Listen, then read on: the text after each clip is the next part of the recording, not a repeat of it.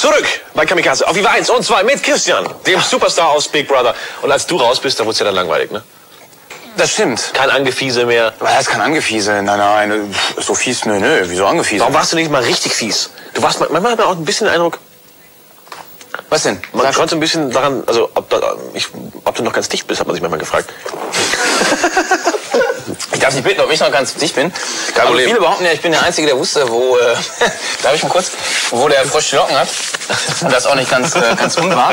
Nein, da muss man schon einfach, ähm, da muss man zu stehen, aber ganz dicht, das kann man so nicht sagen. Nein, weil du bist dann rausgerannt und dann so ein bisschen bist du auch einfach ein Ur... Ur Ja, du kennst die Vorgeschichte gar nicht. Ich hatte tierischen Kohlampf, ich hatte Ja. Hunger ohne Ende. Kein Butter. Und ich hatte mir ähm, gut was aufgespart, damit man gut über die Zeit kommt. Und der Ja. Ösi hat sich in der Nacht noch komplett das frische Brot reingetankt. Und da war ich dezent angepisst.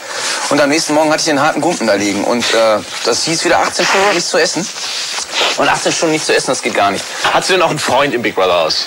Also mit Karim lief alles sehr gut. Aber jetzt nicht von hinten, sondern so. Ganz normal auf der richtig maskulinen, harten Macho-Schiene. Warte mal, warst du der passive oder der aktive Part in eurer Freundschaft? Nee, wir hatten es eigentlich äh, ganz gut gemischt. Ich meine, er hat hinterher die Torten gestochen und ich nicht, was eigentlich schade ist, weil ich auch Bock hatte, aber wen hast du Bock? Auf die Blonde auch?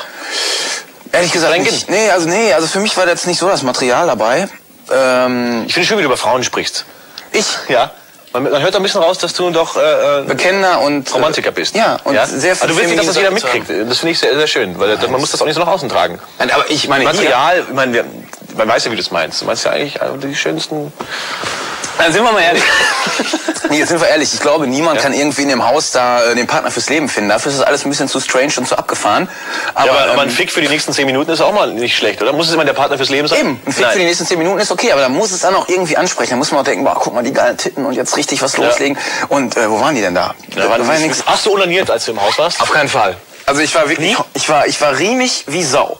Ich hätte auch wirklich, als ich rauskam, ich hätte sofort, Aber nach zwei? Ich hätte sofort, ja genau, hier Was sind schon wieder die Ja, Experten. Habt Alexander- ihr alle schon mit Alex? Was ist denn los? Ist Ja, hier der ja. Wanderpokal oder was? Nee, das ist, äh, Nee, eher so eine Dauermatratze. ehrlich? Also ihr auf jeden Fall müsst das ja wissen. Du warst Alexander- auch schon drauf?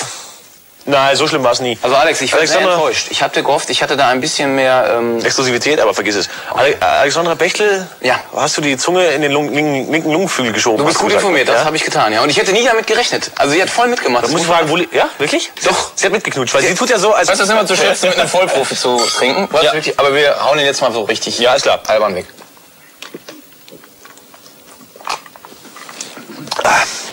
Ja, ist ja. Nicht schlecht. So, soll ich das auch kaputt machen? Nein. Alles klar. Musik!